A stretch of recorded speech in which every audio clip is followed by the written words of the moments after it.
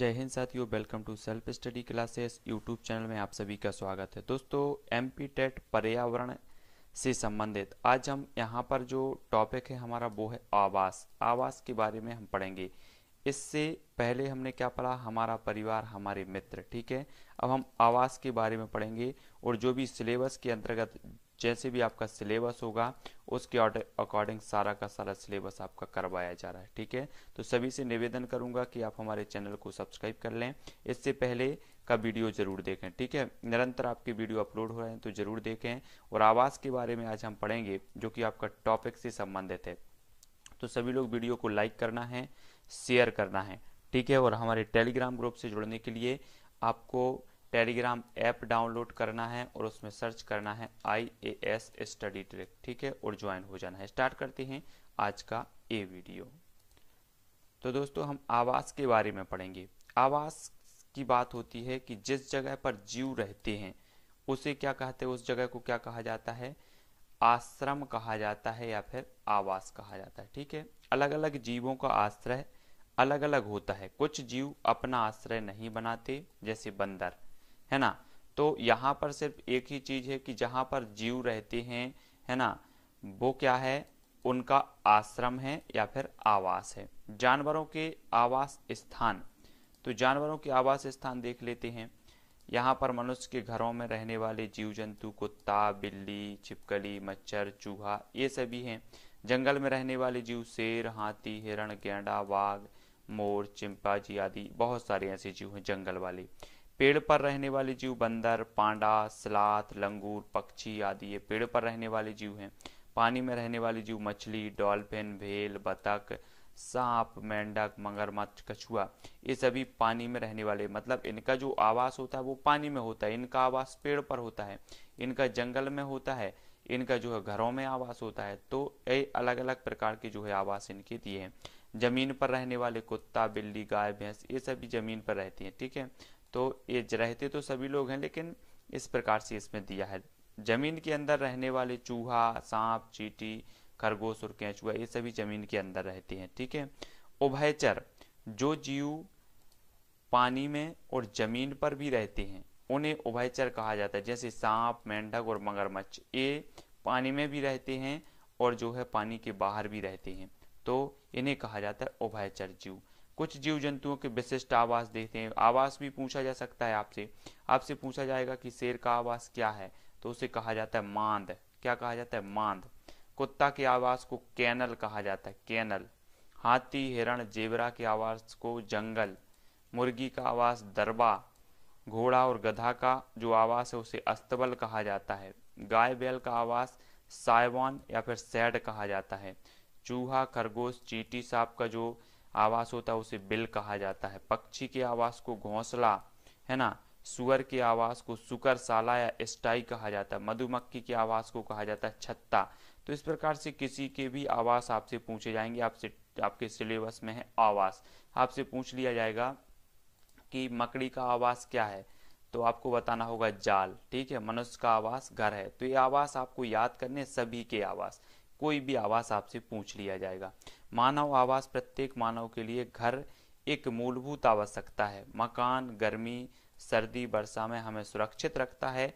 मकान में हमारे सारे कार्य संपादित होते हैं। कच्चे घर, पक्के घर, झोपड़ियाँ आदि विभिन्न प्रकार के जो मानवीय आवास हैं, आवास की आवश्यकता निम्न कारणों से है। ठीक है? यहाँ पर हम देख लेते हैं कि ये आवास हैं विभिन्न प्रकार के। ठीक है? ये पेड़ पर जो आवास करने वाले हैं, वो अलग हैं, घर में हैं, मकान में हैं अलग अलग के जो आवास हैं, वो सारे के सारे आवास यहाँ पर दिए हैं और ये आवास जो है हमारा टॉपिक है, जिसके बारे में हम पढ़ रहे हैं।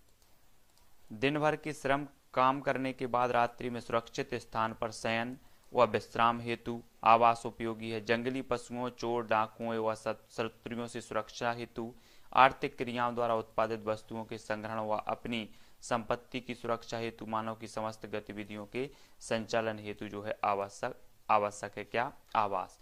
विभिन्न प्रकार के विशिष्ट मानव आवास। देखो, यहाँ पर दिया है इग्लू। ये उत्तर अमेरिका की ग्रीनलैंड के आर्कटिक क्षेत्र के टुंडा प्रदेश में निवास करने वाली एस्किमो जनजातियों के आवास हैं। अब आपसे आपसे पूछा जाएगा कि इग्लू जो है आवास, ये कहाँ का आवास है? तो आपका उत्तर होना चाहिए उत्तरी अमेरिका का। ठीक है? इसमें इग्लू कौन सी जनजाति है? तो एस्किमो जनजातियों के आवास हैं ये। तो ये चीज़ आपको याद रख लेनी है। आवास से आपसे ये नहीं पूछा जाए कि आवास दे दिया है तो आवास, अगर आपका सिलेबस में है तो आपसे कुछ भी यहाँ से पूछा जाएगा, ठीक है? है ना? तो ये सारी की सारी चीज़ें आपको पढ़नी है। एस्किमो लोग जानवरों की हड्डी, खाल तथा बर्फ़ के सख्त टुकड़ों को जोड़कर इग्लू नामक गुंबद नुमा मकान बनाते हैं, जहाँ पर इनको कड़ाकेदार ठंड से बचाती है। युर्त युर्त जो खिरगीच जाति के ग्रीष्मकालीन आवास ये चमड़े के बने होते हैं। आपसे पूछा जाएगा, युर्त आवास काय के बने होते हैं? तो आपका उत्तर होना चाहिए, चमड़े के बने होते हैं, ठीक है? ये किस जनजाति के आवास हैं? तो आपका उत्तर होना चाहिए, खिरगीज जनजाति के आवास हैं, ठीक है? तो यहाँ से आपको आवास के बारे में अर्श देखो अर्श अर्श भारत में नीलगिरी की पहाड़ियों में निवास करने वाली आदिम जनजाति के लंबे, बड़े, ढोल की आकृति के घर हैं अर्श बुसमैन जनजाति के आवास, अफ्रीका महाद्वीप के कलाहारी मरुस्थल की आखेटक जनजाति बुसमैन। सवन के लोग स्थायी व पक्के मकान नहीं बनाते। ये लोग मौसम की कठोरता और जंगली जानवरों से बचाई के लिए झोपड़ियाँ, गुफाओं या टेंटों में रहते हैं। ठीक है? तो ये चीज़ भी हमें देखनी है। पिग्गी जनजाति के आवेश। तो पिग्गी जनजाति के जो आवास हैं, पिग्मी शिकार शिकार पर निर्भर रहते हैं। अतः स्थायी रूप से घर बनाकर नहीं रहते। पिग्मी जंगली जीवों से सुरक्षा की दृष्टि से अपनी झोपड़ियाँ वृक्षों पर बनाते हैं। इनकी झोपड़ियाँ मधुमक्खी के छत्तों की भांति गोल बनाई जाती हैं। घर वह स्थान है जहाँ पर हम रहते हैं है ना? और हमारा घर जो है आ, हमारा जो घर है वो आवास कहलाता है। घर हमें सर्दी गर्मी वर्षा आदि से सुरक्षा प्रदान करता है। एक ऐसा समय भी आता था जब मनुष्य के पास आज की भांति रहने के लिए घर नहीं थे, वे पेड़ों की शाखाओं, घनी झाड़ियों, गुफाओं में रहते थे। समय के साथ मनुष्य के रहन सहन और खान पान के तरीकों में बदलाव आया और उसने आवास बनाना चालू किया, ठीक है? पहले मिट, लोग मिट्टी से बने कच्चे घरों में रहते थे। इस तरह के घर की दीवार मिट्टी से बनाई जाती थी। घर की छत बनाने के लिए लकड़ी के फट्टे जोड़कर बनाए गए। ढांचे के चारों दीवारों पर टिका दिया जाता था। बाद में उसे मिट्टी से लेप कर दिया जाता था। कहीं कहीं पर घर की छत बनाने में खप्पर, नरिया, बाँस, घास फूस आदि का उपयोग किया जाता था। इस प्रकार बने घर की फर्श पर मिट्टी में गोबर मिलाकर उसकी लिपाई की जाती थी। कुछ लोग घर बनाने में केवल घास फूस तथा बाँस, बल्ली आदि का उपयोग करते थे। ऐसे घर को झोपड़ी कहा जाता था। ठीक है? तो यहाँ पर आवास से संबंधित हमने महत्वपूर्ण पड़ी कि विभिन्न जातियों के जो आवास हैं इग्लू अर्स, युर्त, बुस्मैन जनजाति, पिग्गी जनजाति, इन सभी के आवास को क्या कहते हैं? वो चीज़ आपको देखना है। कौन सी जनजाति यहाँ पर निवास करती है? वो चीज़ हमें यहाँ पर पढ़ती है, ठीक है? अब हम देखेंगे विभिन्न क्षेत्रों के विभिन्न घर। मिट्टी के घर देख लेते मिट्टी के घर प्राय गाँव में पाए जाते हैं। मिट्टी के घर उन स्थानों पर भी पाए जाते हैं जहाँ गर्मी ज़्यादा पड़ती है, जैसे राजस्थान इन घरों की दीवारें मोटी होती हैं ताकि गर्मी अंदर ना आ सके। इन घरों की छत में नीम या कीकर की लकड़ी का प्रयोग किया जाता है ताकि कीड़े न लगने पाए। इन घरों को कीड़े मकोड़ों से दूर रखने के लिए फर्श को गोबर से लीपा जाता है। तो ये मिट्टी के घर हो गए। फिर बात करते हैं बाँस लकड़ी के घर। जो बाँस की लकड़ी से बनाए जाते हैं, इस प्रकार के घर उस क्षेत्र में बनाए जाते हैं जहाँ बहुत बारिश होती है। ये ज़मीन से 10-12 फुट ऊँचे बाँस के मज़बूत खम्भों पर बनाए जाते हैं ताकि बाढ़ आने पर घर का कोई नुकसान ना हो। भारत के असम जैसे राज्य जहाँ बारिश बहुत होती है, वहाँ इस प्रकार के घर पाए जाते हैं। ठीक है, आपसे पूछा जाएगा कि बाँस और लकड़ी के घर किस राज्य में बनाए जाते हैं तो आपको पता होना चाहिए कि असम के साइड बनाए जाते हैं ताकि बारिश आदि से सुरक्षा हो। अब बात करेंगे पत्थर या लकड़ी के घर। तो पत्थर या इस प्रकार के जो घर हैं, वो पहाड़ी इलाके में बनाए जाते हैं। इन क्षेत्रों में अधिक वर्षा होती है तथा बहुत बर्फ़ भी पड़ती है। इन घरों की छत ढलवा होती है ताकि बारिश का पानी या बर्फ़ नीचे गिर जाए। कहीं कहीं छत समतल भी होती है। पत्थरों के घर पर चूने की पुताई होती है। ये घर दो मंजिले की होती है। लद्दाख के लोग निचले मंजिल पर जानवरों तथा ज़रूरत सामान रखते हैं।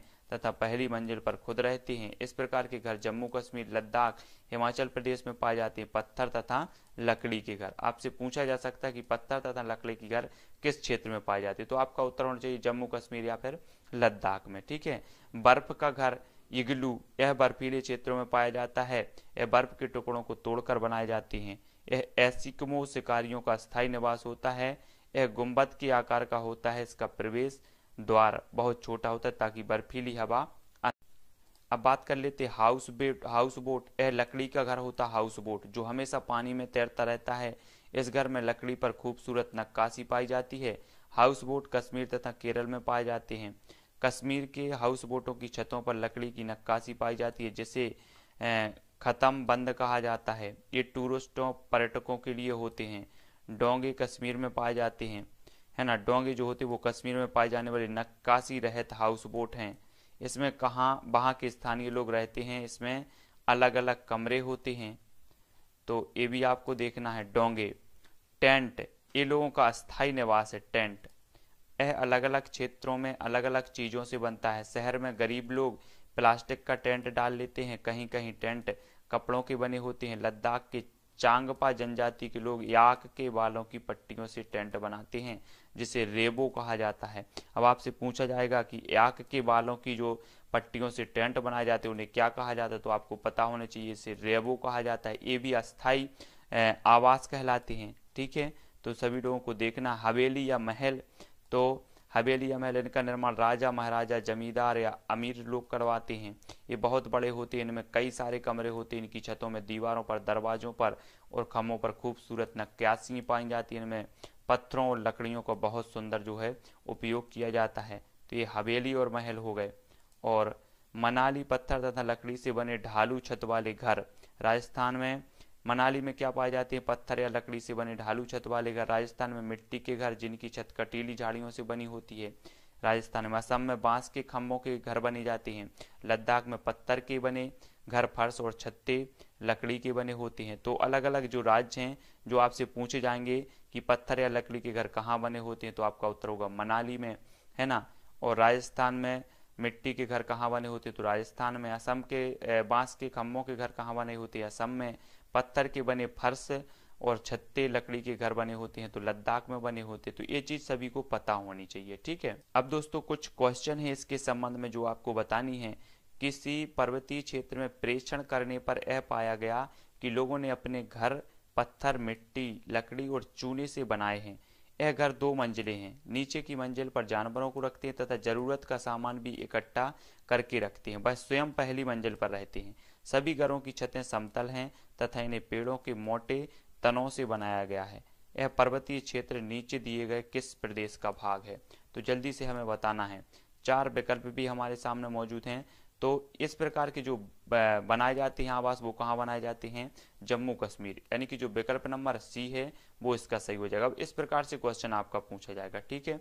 और हमने पहले भी पढ़ लिया कि जम्मू कश्मीर के लेह में अपना जो है घर, पत्थर, मिट्टी, लकड़ी से बनाते हैं तथा दीवार पर मिट्टी तथा चूने की पुताई की हुई होती है। अगर दो मंजिलें होते हैं जिसमें पहली मंजिल पर परिवार रहते हैं, नीचे की मंजिली पर जानवरों को रखते हैं तथा ज़रूरत का सामान इकट्ठा करके रखते हैं। सर्दी के दिनों में परिवार भी नीचे की मंजिल पर जानवरों के पास ही रहता है। नीचे की मंजिल में कोई खिड़की नहीं होती।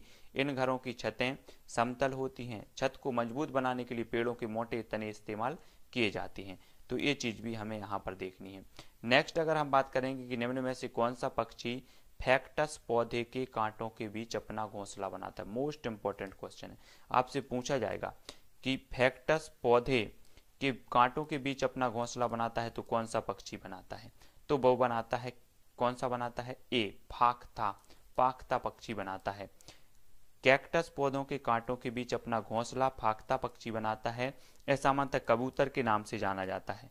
यह जो है कोलंबी फार्म्स गढ़ या कोलबिंडी कुल का पक्षी है। अब आपसे पूछा जाएगा फाकता दे दिया जाएगा? जब आप तो कबूतर नाम जानते हैं, लेकिन यहाँ फाकता दे दिया जाएगा तो आप कंफ्यूज हो जाएँगे। तो ये फाकता जो है या कबूतर जो है, ये कैक्टस पौधे के कांटों के बीच अपना घोंसला बनाता है। आप सभी को याद रखना है। अगला हमारा क्वेश्चन है कि निम्न में से कौन सा कीट मधुमक्खियाँ की भांति कॉलोनी बस्ती में एक साथ नहीं रहता? तो वो है मकड़ी। मकड़ी यानी कि जो विकल्प नंबर डी है, वो इसका सही हो जाएगा। ठीक है?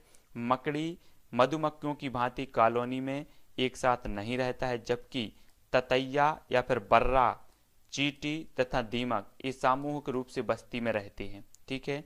और जबकि कौन सा है? मकड़ी जो है ये सामूहिक रूप से नहीं रहता। देखो, यहाँ पर पूछा गया है कि मधुमक्खियाँ की भांति कॉलोनी बस्ती में एक साथ नहीं रहता। देखो, ततैया या जिसे बर्रैया कहा जाता है, ये रहती है, दीमक रहती है, चीटी रहती है, लेकिन मकड़ी एक साथ नहीं रहती, यानी कि जो विकल्प नंबर डी है, वो इसका सही हो जाएगा। अगली बात कर लेते ग्रामीण क्षेत्र के मकानों के ढांचे, वहाँ की जलवायु, मौसम की स्थिति से संबंधित होते हैं। एक, गाँव के मकानों के लक्षण नीचे दिए गए हैं। मकान मज़बूत बाँस के खम्भों पर बने होते हैं।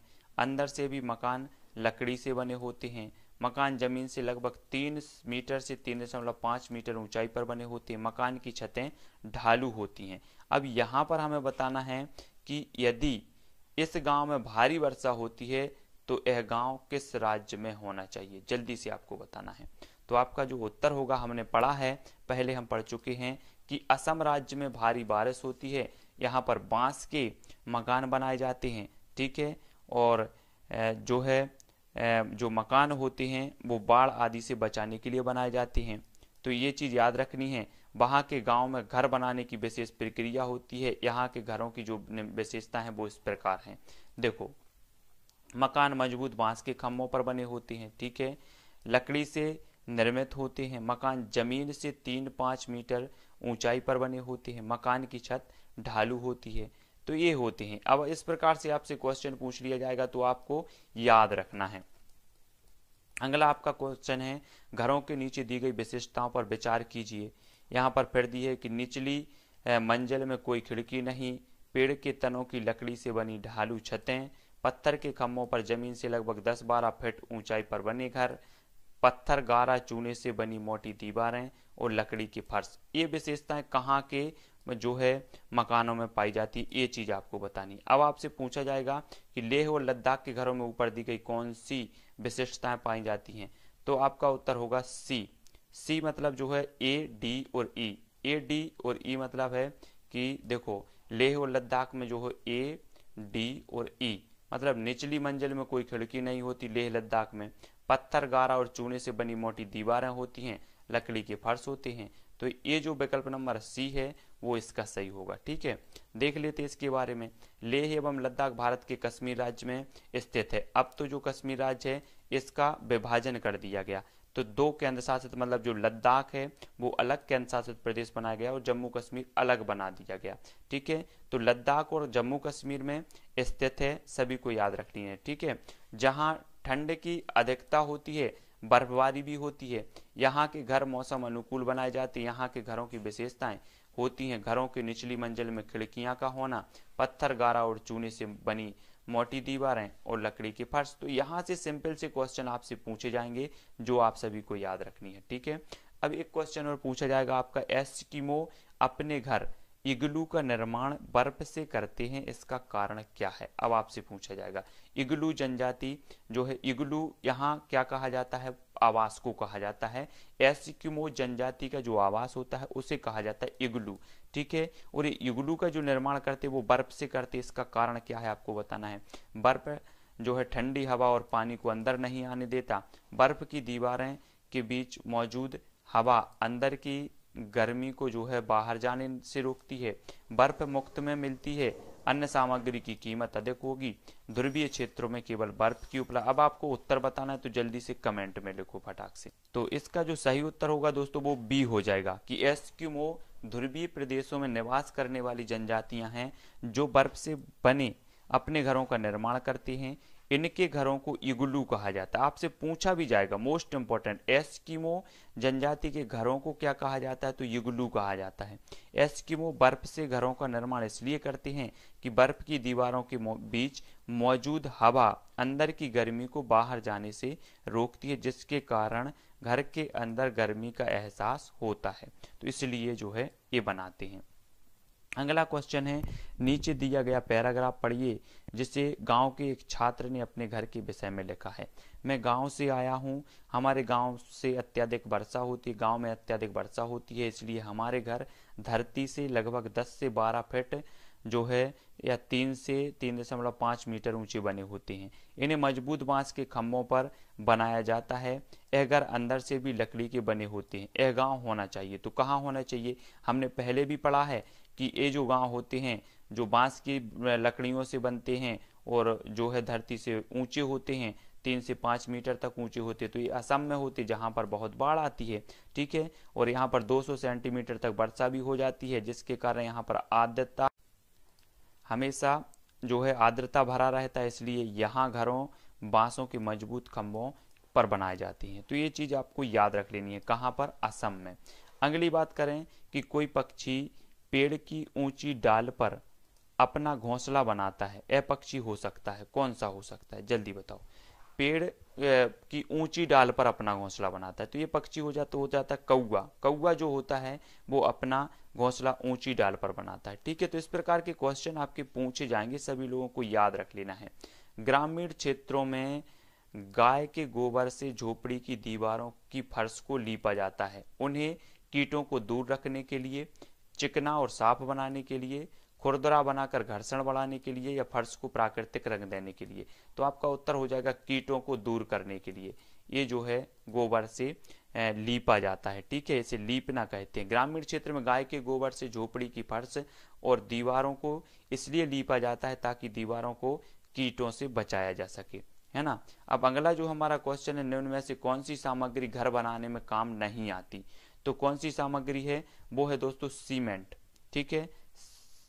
सीमेंट ने डी मतलब स्कूटर सॉरी स्कूटर। सीमेंट तो आता है लोहा भी आता है पत्थर भी आता है स्कूटर नहीं आती ठीक है? सीमेंट लोहा पत्थर भवन निर्माण सामग्री है जबकि स्कूटर परिवहन का साधन है अतः स्कूटर घर बनाने में काम नहीं आती। तो इस प्रकार के कुछ महत्वपूर्ण प्रश्न आपसे पूछे जाएँगे। तो सभी लोग वीडियो को लाइक करें। इससे पहले हमने दोस्तों पढ़ा था क्या पढ़ा था? आ, हमारा परिवार हमारे मित्र पढ़ा था। उसको भी विस्तृत रूप से पढ़ा फिर उसके प्रश्न और अभ्यास भी किया। इसी प्रकार हमने आवास को भी पढ़ लिया और इसके अभ्यास जो है कर लिया है। कुछ और महत्वपूर्ण प्रश्न हैं। बंदर, शेर तथा चूहे के घर क्रमशः हैं। अब इस प्रकार से क्वेश्चन आपके निश्चित 100 परसेंट आएँगे। आपसे पूछा जाएगा कि बंदर, शेर तथा चूहे के घर क्रमशः हैं। अगर आपको पता है कि इनके घर कौन कौन से होते हैं तो आपको बताना होगा। ठीक है? तो देखो, बंदर का जो निवास स्थान है, वो कौन सा है? पेड़। ठीक है? तो पेड़ यहाँ पर आ गए सबसे पहले बंदर है और यहाँ पर पेड़ है। तो आपका पूरा का पूरा उत्तर सही होगा। शेर की जो गुफा होती, घर होता है उसे गुफा कहते हैं। चूहे के घर को बिल कहते हैं। तो विकल्प नंबर सी इसका सही हो जाएगा। शेर का निवास स्थान गुफा तथा चूहे का निवास स्थान बिल है। सभी लोगों को इस प्रकार से क्वेश्चन पढ़ना है विस्तृत रूप से पढ़ना है। निम्न में से कौन सा पक्षी स्वयं के नील का निर्माण नहीं करता? मोस्ट इंपोर्टेंट क्वेश्चन है। जल्दी से बताना है, कौन सा पक्षी है जो स्वयं के नील का निर्माण नहीं करता? तो वो होती है कोयल। सभी को पता है कि कोयल जो होती है अपने अंडे कौए के घोंसले में दे जाती है, ठीक है? और कोयल अपने नीड़ का निर्माण, अपने घर का निर्माण नहीं करती। तो कोयल ऐसा पक्षी है जो स्वयं के घोंसले का निर्माण नहीं करती तथा अपने अंडों को कौए के घोंसले में देती है, जहाँ कौआ अपना अंडा समझकर अंडे की देखभाल करता रहता है। सभी लोग जानते होंगे, अगर आप गाँव देहात में रहते हैं तो सभी लोग गाँव देहात में अच्छे से जानते होंगे, ठीक है? अगला जो हमारा क्वेश्चन है दोस्तों, वो क्या है? कुत्ता मछली का आवास है। तो कुत्ता और मछली का आवास आपको बताना है। तो कुत्ता और मछली का आवास कौन सा है? तो जल्दी से बताओ उत्तर क्या हो जाएगा। अब यहाँ पर दोस्तों कंफ्यूज नहीं होना। यहाँ पर कुत्ता मछली दी है। एक मछली का नाम है कुत्ता मछली। ठीक है? इसका आवास आपको बताना है तो ये समुद्र इसका सही हो जाएगा। ठीक है? कंफ्यूज नहीं होना है। कुत्ता मछली समुद्री सार्क परिवार से संबंधित है। यह मछली खारे पानी में पाई जाती है तथा इनका आवास समुद्र होता है। तो आपको याद रख लेना है और आवास से संबंधित आज की क्लास यहीं तक। और आवास के जितने भी हमारे जिस प्रकार से भी क्वेश्चन बन सकते हैं, उनको मैंने आप तक प्रेषित किया। वीडियो कैसा लगा कमेंट में ज़रूर बताएँ। इससे पहले मैंने जो हमारे परिवार, हमारे मित्र का टॉपिक है, वो आपको क्लियर करवाया था। वीडियो के लास्ट में क्वेश्चन भी आपसे करवाए थे। ठीक है तो सभी लोग इसी प्रकार से जुड़े रहें, वीडियो को लाइक करें और शेयर अवश्य करना है। और दोस्तों, वीडियो कैसा लगा ज़रूर कमेंट में बताएँ। C T E T TET जो भी आप एग्ज़ाम की तैयारी कर रहे हैं, वर्ग तीन की तैयारी कर रहे हैं। उसके लिए मोस्ट इंपॉर्टेंट है और आवास आपके पर्यावरण से संबंधित आपका टॉपिक है, आपका सिलेबस के अनुसार है, ठीक है? तो आज की वीडियो के लिए बस इतना ही। दोस्तों, जय हिंद।